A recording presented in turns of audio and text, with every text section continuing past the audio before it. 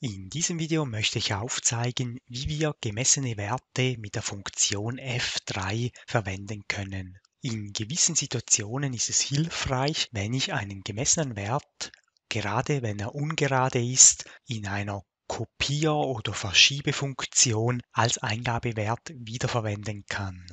In meinem Beispiel möchte ich gerne im linken Bereich der Überdachung den gleichen Sprung übernehmen, welchen ich rechts verwende.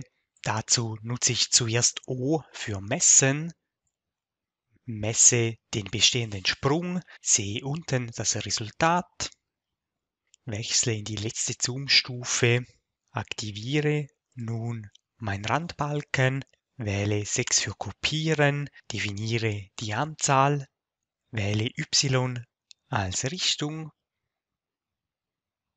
und finde nun unten die Option F3.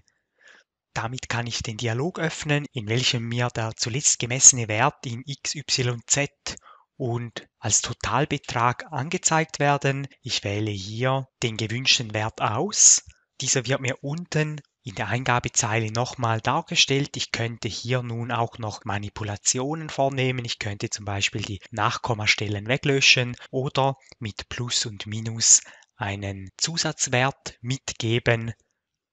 Wenn das so stimmt, bestätige ich mit rechts und konnte so nun die Balken mit dem vorher auf der rechten Seite gemessenen Wert kopieren.